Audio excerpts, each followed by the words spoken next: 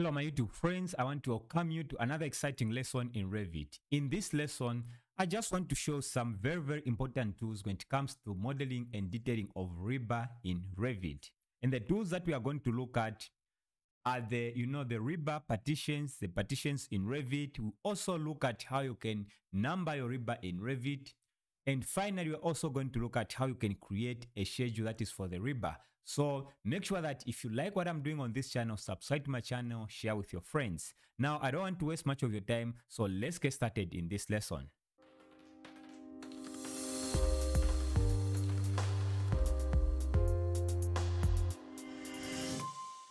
Now, before I proceed, if there's anyone who'd like to learn in a course that is Revit Architecture, Revit Structure, and Robot Structure Analysis Professional, make sure that you check the links in the description and I'll keep on adding more and more courses. Okay, so from here, this is the model that we are going to use and I'll start by placing the rebar on a partition. Now, when you are creating rebar for detailing also, make sure that you place the rebar on a partition and a partition in some codes like the you know the british standard and also the eurocode that's the one on the schedule should be seen as a member okay? So in revit it's called a partition. All right so once you create your rebar and again if you want to know on how to create you know to place rebars on a footing like this please just go on my channel. There are so many videos on how to you know to model the rebar on a pad foundation like this one.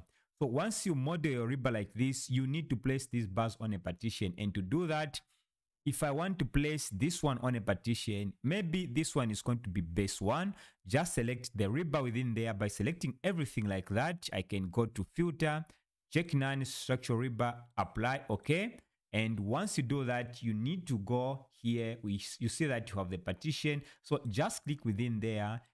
Okay, so you see that there's nothing there, but I can now type the partition where I want to place my rebar there. I'll call this one as the first base, so I'll call it base one. This is how I want my, you know, the rebar place under that one to be seen or to be, you know, named on my schedule. So I'll call it base one, and it's just a matter of typing there. Then you can click on apply there, and, or just enter from your keyboard and just move your your your your your cursor within here. If I just click inside, then when I just pick any bar there, you see that is assigned to a partition. So that is the member where I have my my rebar. Okay, so I can select there and still, you know, counter check it from there. All right, so now you can see from here, maybe let me also place this one on the same partition and this one will be number two and this one will be number three. So I'll select once again, select everything, make sure that everything selected like that. Then I'll go to filter, check none, just pick the structural rebar from there. And now since I already typed the base, okay, actually it's supposed to be called base one, but I'll still leave it as base. Then click on apply and just click inside. These bars are also assigned to that partition. So assuming that you are you are modeling all the bars on your model, you are going to assign all the bars to a partition. If it's a beam, the way you are going to name them, make sure that those are assigned to a partition. Now, I'll create this one and I'll call it base number two. I'll just click there and I'll click on filter, check none, structural rebar, apply, okay. From here, then I'll call this one as base two and click on apply and just click inside. So all these bars are on that partition. Did I miss anything? Select that. Let me select everything once again. Maybe I could have missed something here like that then filter, check none, structural rebar, just do that and make sure that now you can see that some of the bars were not, were not assigned to anything. So I'll just go base, click on base two, apply. Okay, now all my bars are assigned to that partition as you can see from here. So this one, where did I put it? Okay, it's just on base. I'll do the same on this one, but this one is will be called base number three because I want to create three partitions and the naming here will be dependent on the sizes of you know your bases and how and the plan on how you're going to detail them. So click on check none structure rebar apply okay and this is finally i'll call it base number three. Then click on apply then click inside. Now for this one i'll just assign it and let me just select all the bars like that. And i'll also assign it to the you know, to base number three as a partition. From there, I can just pick that one, apply.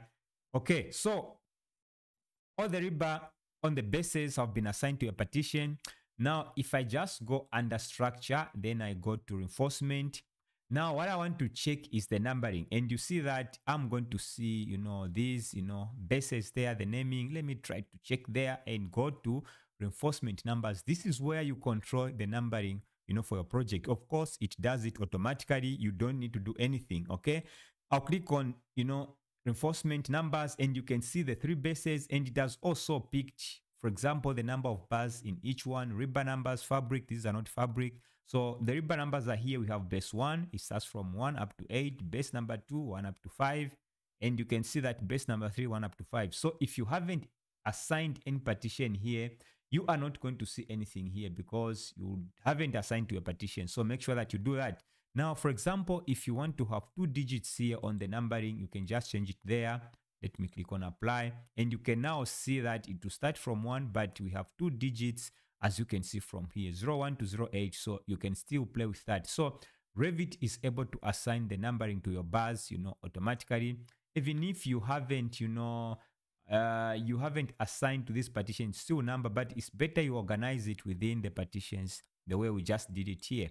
So now you see that we have removed some gaps. For example, if you delete some bars or you haven't assigned to a partition, you want to make some change, you are going to have a gap here and you can change the numbering so that you remove it. So let me click on OK. And maybe for some reason, if you maybe just delete some of the bars, okay, deliberately, I'm just going to delete some bars here. I'll click there.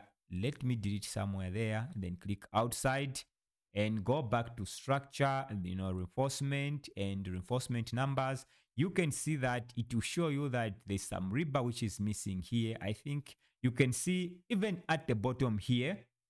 Let me just show, you know, something here down here. Okay. So you can see that it says one or more gaps exist in the number sequence because I removed some bars from here. So make sure that you counter check. So if I just go back here, it's because of that bar. Now, if for some reason I just want to remove, you know, that gap, this is how I want my bars to be. I can go there, go to reinforcement numbers, still appear here. You just need to click on remove gaps so that it can recalculate here and remove the bar which is missing, okay? Because I've removed some bar, but you need to click here so that you remove that bar from the numbering system and you are going to see how it's going to recalculate there. So I'll click on apply. Now that bar is removed, we have 01 up to 07. So this one is for removing bars. For some reason, if you remove some of the bars, you can do that. All right. So let me click on OK. Now, let me try to change maybe the, you know, the type of the bar there.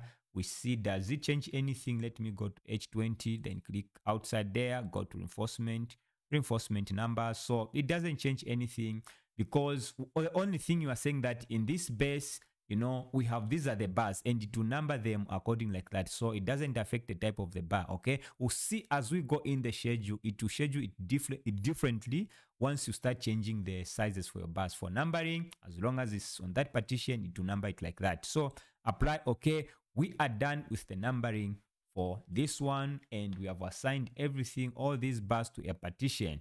Now let's try to create a schedule and see how these things are organized within our schedule. Now I'm going to create a very, very simple schedule. To create a schedule, I can go down here and you see that we have schedules and quantities. I'll right click and I can click on new schedule and quantities. If I don't want to do that, let me just cancel there. I can go to, there's a schedule. Where is my schedule? Okay, schedule under the view. Then I'll click there and I can still go to schedules and quantities. And this is what you are going to be presented with. Even if you do it from there or even from the view there, you be presented with this. Now you need to pick the category from here. So I just need to find structural rebar because that is the category of the schedule that I want to create. All right. So I'll find the structural rebar. It's right here. That's the only thing you do here as a first step. And you can even rename it here if you want, but I'll rename it later within the table as you're going to see. I'll just click on OK. All right. Now, once you do that, this one is going to open. You see the category that I picked is right there.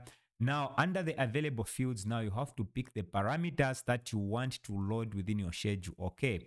Now, I'll make it simple for you. I'll just start with a partition. Remember, we created a partition. And for some people, you call it a member, okay? So I'll find the partition, click there, and just load it there. The next one is going to be the bar diameter, okay? Or can even use the type, okay? So, but I'll use the bar diameter. Okay, so I'll type bar diameter right here. Maybe let me also find something like the type. I think I should have the uh, the type okay i can later on remove one of the two if i want. The type that is the type of the you know the rebar the structural rebar because i have structural rebar there. So i'll add it right there. I'll remove one if i want. Let's let me just see how it come out. All right now i'm going also going to pick the the rebar number from there i'll pick that rebar number. And that is a bar mark for some people they call it a bar mark or others may call it you know different names but that is a rebar number okay? I'll pick it from there. Then i'll also want to add the bar length i can find my bar length there because i want to know you know in what lengths am i going to cut these bars okay? So i'll just add it there. And finally i also want to add the total you know length of the bar for each one. Like for example for that member what is the total length? And you can pick whatever you want from here depending on what you want to present in your bar you can see we have a lot of parameters a lot of available fields from here you can pick. So i just want the total okay the total bar length from here i can add. And for me this is okay. You can add what you want from here to customize you know, a schedule. So you've seen how this is supposed to be done. All you need to do is click on OK and you see that we have our schedule right here. So this is the information that we added. Now, if I want to make some filters here and there, I can do that. But from the look of things, as you can see, everything looks okay. But if I want to filter some information, for example, I can go to the fields, but maybe we'll not go deep into these filters you can see that you are able to filter all these. If I just want to filter by maybe a partition, okay, I can go to filter, click there, then partition, then this one is going to be equals maybe the base one. That is if I just want to filter my schedule, maybe to just base one because I don't want to show everything. I can do that. Just click on OK and you see that only base one is going to be saved. So these filters I've just, you know, eh, done Control Z to undo. So I can go back there and filters again. If you want a detailed tutorial on filters, you can mention there. We can talk about schedule properties and look at all these filters. These are the fields that we looked at. We can do sorting and grouping. Here we are itemizing every instance, but if I don't itemize, you know, we will not see what we want to see here. So it has to be itemized like that. If I click there, because they are of different types and sizes, so you can't put it in one on one line. So that one has to be itemized like that. So, oh, sorry, not this one. Not here. I'll go back there and make sure that itemize every instance is checked if I want to show the totals, I can do that. So this is how you create, you know, your schedule. You see, make use of the partition, the numbering. Now here you see that I added the type and the bar diameter. I think I don't need the bar diameter because I want to show the type as you can see from here. The rebar number, that is the bar mark. You can see that we have two digits there, the bar length and the total bar length. So I'm just going to hide this one, right click. I think I'm able to hide that column so that it's not seen here as you can see. Now i can rename from there. For example if i want to have bbs for bar bending schedule i can do that.